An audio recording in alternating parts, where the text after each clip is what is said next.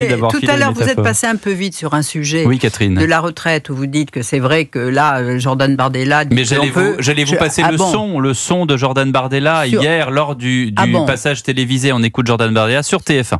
J'ai noté l'exemple que vous avez mentionné. À 24 ans, vous partirez avec 42 euh, années de cotisation, c'est-à-dire 66 ans. Pourquoi? 66 ans. Ah ben- Donc plus tard que dans la, réforme actuelle d'Emmanuel Macron. mais, quand, mais non, mais pour une, raison, non, pour une raison très simple. pourtant, Vous n'aviez jamais 40 donné ce chiffre-là avant. Non, pour une raison très simple. C'est que quand vous avez commencé à travailler plus tard, il est normal que vous soyez amené à travailler plus tard. Voilà. Et clarification chez euh, Cyril Hanouna tout à l'heure. Moi, ma priorité, si je suis à Matignon, ça sera sur les carrières longues.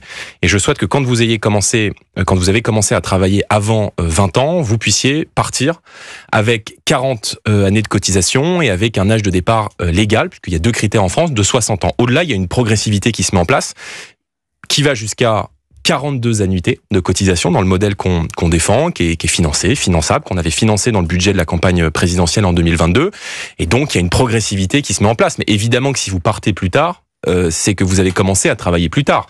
Voilà. 62 ans, 42 ans d'annuité, et puis 60 ans pour ceux qui ont commencé avant 20 ans avec 40 annuités. Catherine. Oui, mais il y a eu une autre euh, mise au point parce qu'on se bagarre sur les retraites depuis. euh, que- Ouais. Voilà, bon, c'est Ma- c'est Manuel Bompard. Et alors ce matin, vous avez parlé tout à l'heure et vous rendu hommage à notre confrère Olivier Delagarde qui fait une, une revue de presse toujours très, Remarquable. très remarquable. Et ce matin, moi je n'ai pas regardé le débat hier soir, mais il, euh, et donc j'ai regardé et tout à l'heure et il me disait mais Manuel Bompard là il avait une cravate, c'est la première fois qu'on le voyait une cravate, un costume. Elle dit il avait un faux air de Giscard. Et c'est vrai, j'ai regardé, il avait euh, un cousin de Giscard. Il avait l'air très La famille d'Estaing après Ah, Chirac. bah, Non, non, mais c'est bah ça, oui. parce que Oui, oui. Louis Giscard d'Estaing écoute régulièrement Une- cette une émission. On oui, verra ce qu'il en, oui, en non pense. mais je veux dire, ça c'est vrai. Et il a dit que on pouvait partir à 62 ans, mais avec une décote.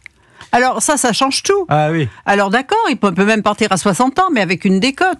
Mais quand, ça- mais ça veut dire que même du côté LFI se rendent compte Hmm. que leur réforme de la retraite, ils peuvent pas, ils peuvent pas répondre aux vœux des Français qui veulent travailler de moins en moins. C'est-à-dire qu'aujourd'hui, on vit plus longtemps. Oui. C'est-à-dire que depuis qu'on a institué la retraite à 60 ans, les Français ont gagné en moyenne 8 ans de vie euh, supplémentaire, D'espé- d'espérance de vie. Donc euh, ça y est, si on veut le, que le pays s'en sorte, il faut travailler plus. Bon, mais là, vous voyez que là, cette phrase, déguisée en Giscard, d'ailleurs, il faudrait de temps en temps le déguiser en Giscard pour qu'il redise des choses. Pour le nœud de cravate était un peu mieux noué. Oui, mais Si ça, avez- la prochaine fois, ça sera peut-être. Mais vous voyez, moi, ça m'a, c'est- il m'a C'est bien encore. élastique au bout. Il m'a étonné, vous voyez, parce que il continue, à- il dit ça alors qu'il a peu de chance d'arriver au pouvoir. Donc même les LFI, ils, Essaye de retrouver une de retrouver un Même semblant. les filles, en gros, on a compris que ça, ça pouvait pas Mais- être 60 ans gratos. C'est voilà, ça. voilà. C'est ça. Louis Dragnel. Bon, après, sur cette question des retraites, euh, ce que je trouve euh, un peu terrifiant, c'est que depuis 15 ans, il n'y a pas un politique qui, après s'être engagé à une mesure sur les retraites, a réellement fait ce qu'il avait dit qu'il ferait. Donc, euh, tout est toujours très flou. Euh, Emmanuel oui, Macron mais- s'est fait lire en 2017 avec une promesse qui est, avec euh, même une méthode, là, si le système des points, et finalement, on arrive à Mhm. quelque chose qui n'a rien à voir. Il n'y a pas un chef d'État, il n'y a pas un gouvernant euh, qui, euh, voilà, euh, réussit à respecter ce qu'il a théoriquement Oui, voulu mais mettre en euh, place. quand il a été élu, on lui a vendu cette retraite à point avec le, le- la chose vendeur, c'est que personne ne l'a fait. Donc lui, il était élu comme ça, personne ne l'avait fait. Vous serez le premier. Et alors on s'est aperçu que faire une retraite à point quand il y a 42 régimes en France, vous Mm. voyez, ben, alors là, bon courage. D'ailleurs, c'était pas possible. Le Covid est arrivé. Là, pourtant, ça avait été voté en première lecture. On l'a mis dans les couloirs, dans, dans un tiroir. On l'a plus jamais ressorti.